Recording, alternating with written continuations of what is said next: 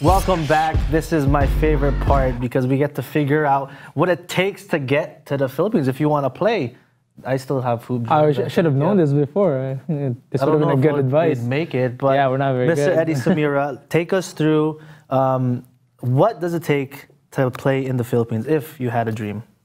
Uh, if you have a dream playing, Yeah, what's the first process or first step, I guess, at an early age or like? yeah, well, this is how it is. Like, the documents is very important. So, let's say you want to play university level, mm-hmm. you have to be a Filipino citizen at the before the age of 18. So a dual citizen if you're So from the two there are two ways you could do it. Yeah. Before 18, your your parents has to be, if they're a Canadian citizen, they have to be dual, citizen. Mm-hmm. So you get a consulate, you apply for it mm-hmm. because if you are still under 18, you can your parents can carry you over. So you can they will issue you a Philippine passport Yeah. with your parents because you're at least under 18, you're still minor at the time. So that's one way of doing it. The, se- the, s- the harder way is like this. If, if you if you are over 18 already, uh, it's going to be your your parent has to be uh, Filipino citizens too, so they can be dual. Yeah. But you have to go to the Philippines. Oh, You have to apply for the petition, oh, I and see. it's a long process. How long is the petition usually if you. Yeah, like I, I have two players that went home. Mm-hmm. It was James Forrester, and uh, takes almost a year to do that, Wow. and it's a lot of money involved. Oh, so there's money in the Yeah, petition. you got to use lawyers, and fortunately, the two of them, the school sponsored them, Mm, yeah. so they pay all the expenses. But that's the process. Wow. And then the first the the first one you said if you're under 18, what do you what do you have to do again? Yeah, you have. Yeah, if you're under 18, then it, that you're qualified to play in Oh. NCAA because you have to have a Philippine passport. Mm-hmm. If you're gonna go Gilas, which is the cream of the crop, Mm-hmm. Yeah. you have to have your passport by the age of 16. Wow. So the age starts very 16, early. In, very early. So those uh, players or parents that they think that your kids are good enough, Yeah. then you got to do it on the early stage. If you do it before they turn 16, Yeah. you do well and get them pass, give your son or daughter a passport, a Philippine passport. That would be good enough to play Gilas. But and Yeah. NCAA if you want to start at the university level, Yeah. and then PBA at the end. What are what are coaches looking for? What are scouts looking for for the kids? Is it do they know what they're looking for now, or is it just like you just got to stand out? What's the Yeah, that, uh, yeah, like that's part of it, Yeah. but uh, you're gonna have the determination and the heart because coming from here, going there, and staying there, it's completely different. Like there will be a culture shock at the beginning, Beginning. Yeah. so you're gonna be ready for it, and then you really have to love basketball. You have to come prepared, like eh, like no homesick, no nothing. Everything has to be. You, you have to have the heart. yeah. yeah?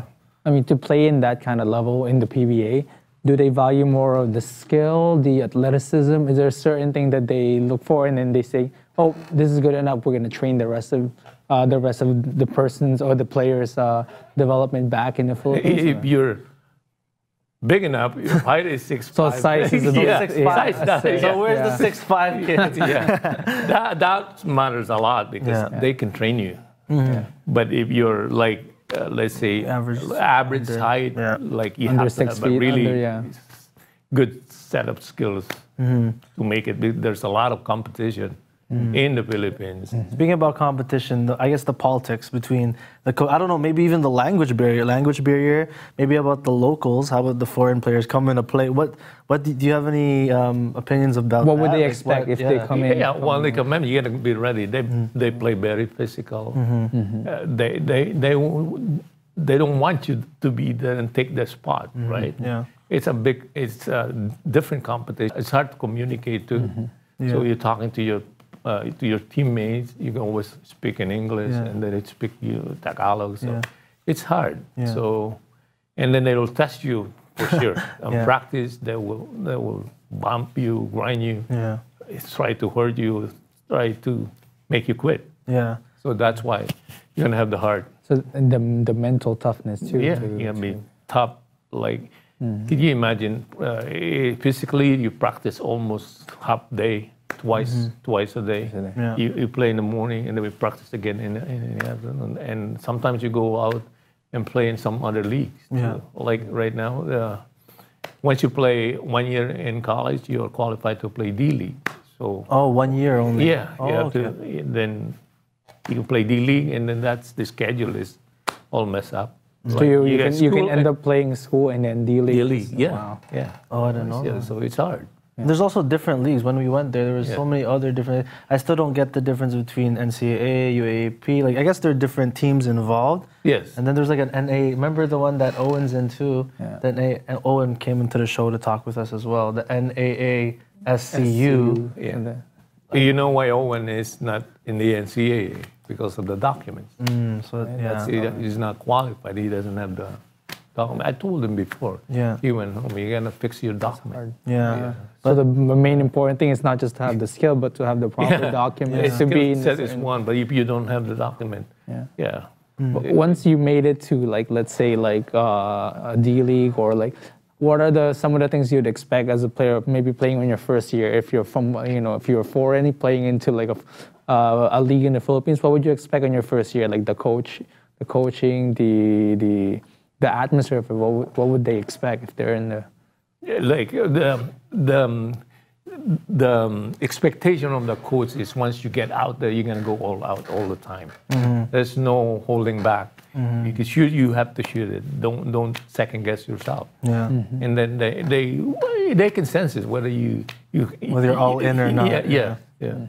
So uh, there's a lot of adjustment to do. Mm-hmm. I, I guess there's one um, player now that's playing Mapua, Cedric. Mm-hmm. Yeah, he went there first, and then the first time he went there, he, he came home and mm-hmm. said, "I can do it yet." And Yeah. then the second time he went to you, I think he started playing at Centennial. Yeah. He was playing there for he played there for two years, Yeah. and then he said, "Tito, I'm ready. I'm I'm going home this time, and I'm go- staying there for good." He's playing now in the NCAA level. So the main thing is that you got to be prepared, like Yeah. really mentally and like no, and it's not a walk in the park. I think a lot of Filipino kids think, oh, if I'm good here, I'm probably going to be good in the yeah, Philippines. yeah. I think that's far from it, right? that's There's really good is, people yeah. in the Philippines. Well, you're gonna be really like to be in in the to be to play in a very high level mm-hmm. of basketball, like let's say PBA. Yeah. You're gonna be really good, Yeah. like like Matthew Wright Matthew is Wright. there now. Yeah. Like Phil Can right there. tell us uh, tell us your story with Matthew Wright I think that's Yeah. everyone want to hear uh, Yeah, like I was. This was uh, two years ago uh, when I went home. Yeah. Like he, Matthew texted me. He said, "Tito, do you think uh, Gilas will be interested in me?" So I went to Gilas. I went to the Gilas practice. Yeah. I talked to the um, to the Gilas people that no, they they already knew Matthew because Yeah. he was playing in the Asian Asian League. So uh, I I well, Boots um, Antonio. Yeah. Uh, so he said, he said, "Do you think you can you can bring Matthew here? Yeah. We're interested in him." Yeah. So uh, I said, "Oh, here." I showed him the Matthew's Matthew, text. yeah. He said, "Here." He, he said, "Can you can you represent him?" Yeah. I said, "No, well, like I would show you the text." That he Yeah. said, Yeah. "I should be good enough to." So he said, "Okay, if, if you can bring him, we would like to." To have him here. Yeah. And that turned out to be like a success story. Now there's highlights of him everywhere. He makes a lot of points. He's he's sikat in the Philippines, Yeah. man. Very good. Well, well, he is the. I think he's running for the rookie of the year. He is. Uh, I think year, the first on the first runner runners on. What a success story for Yeah. the Philippines. Yeah. That well, it's it was fun talking to you, Mr. Eddie Samira. Thank you so um, much for thank you for coming, for coming. You're Ev- welcome. everybody. I'd like to do this. Yeah, it's, it's great to just we talk. can talk all day. exactly. hey guys, if you like that episode, make sure you follow our social media channels. We're on Facebook, Instagram, and I think was that Twitter. Twitter Twitter at Pinoy Crossover. If you have comments, please leave comments. Please ask questions. We have people like Mr. Eddie Samira who can guide you in that direction, and also other people in our network that can also help you. So if you have dreams or anything like that, please reach out. Marky Mark, anything you'd like to say before we end the episode? We're just happy that NBA is back and we're getting help in terms of people who have dreams to play in the Philippines. And we have people like Mr. Eddie, and we have us Pinoy crossover that's giving exposure to like you know Filipino kids anywhere in Canada to have that kind of exposure for scouts in the Philippines. That's a big thing, and that's one thing that we really emphasize here, right? But there's a lot more big things happening too, and a lot of things in the work. Mr. Eddie Samira, any parting words, anything you'd like to say? I I would like to say this: eh, those kids or those parents that aspiring their kids playing to play in the Philippines, if you need help, I can help you. I work with people in the Philippines in the basketball world of the Philippines. Gilas, I, I play. I represent um, one of the biggest agency in the Philippines with uh, Marvin Spiritu and Matthew Manato. Yeah, uh, E M B M. So you're basically the bridge to their dreams, Yes. basically. I, I am the, the their arms in the uh, east side of United States and Canada. Look at that. So hey, guys, if you really want to know your options in playing uh, playing for the Philippines or even playing in the Philippines, why not reach out, right?